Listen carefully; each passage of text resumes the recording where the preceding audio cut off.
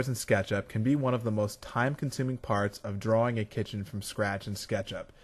You could certainly spend more time on the doors than you would spend drawing the rest of a cabinet.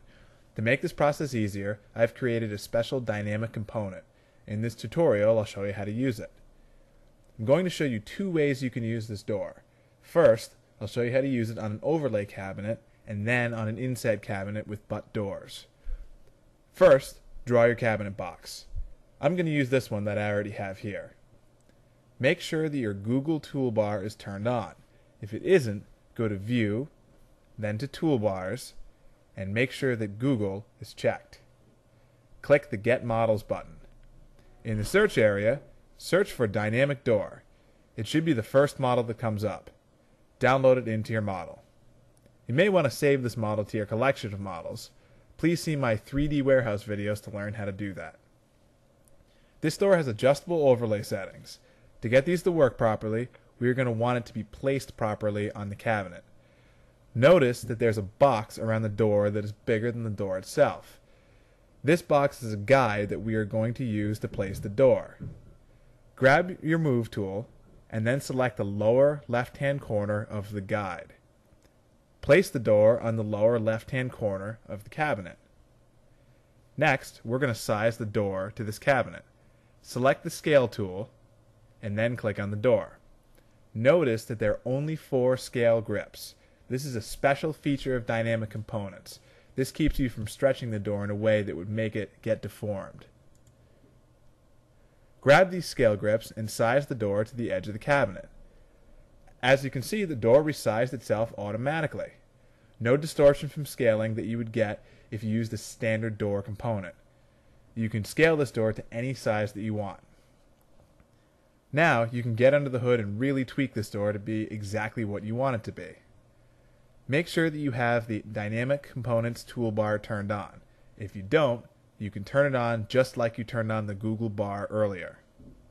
Select the door and click the Component Options button. As you can see, there are a lot of options in here.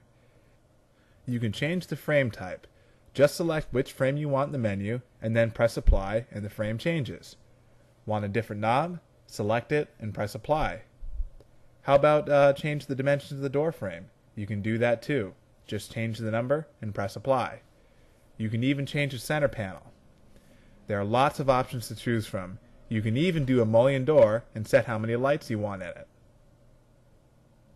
You can also change the reveal or the overlay of the door in the reveal setting.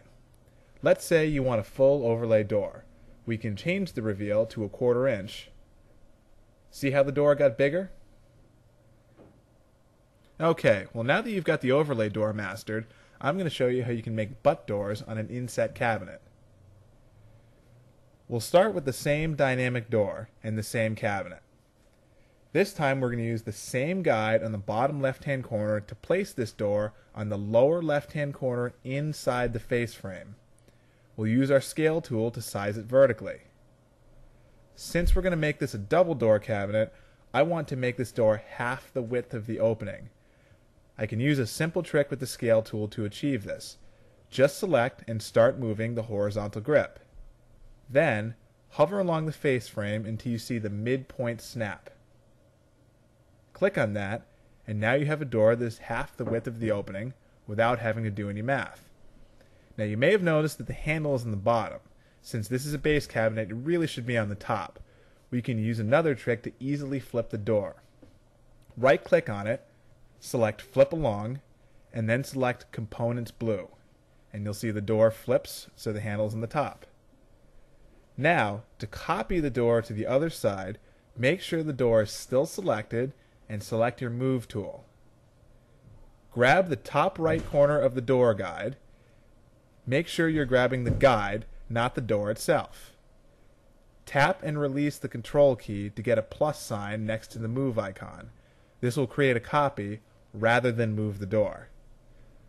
Place the door inside the face frame in the top right.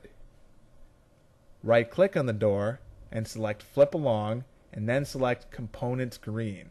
This will flip the door so it's facing correctly. Now, we need to change some settings in these doors to make them look right. Instead of doing this one door at a time, we can change both doors at once. Click on the arrow tool and tap and release the control key. This will make a little plus sign next to the arrow and allow you to select both doors at once. Now, in the Component Options window, change the reveal to 0.125 and press Apply. Also, since these doors are butting together, select Butt Doors and click Apply. Once you've turned the setting on, you can actually adjust the gap in between the doors here. Finally, you can use the Interact tool to open the doors whenever you want. One last thing to note. If you're actually building doors for your kitchen, you can get the actual size of the door at the bottom of the dialog box.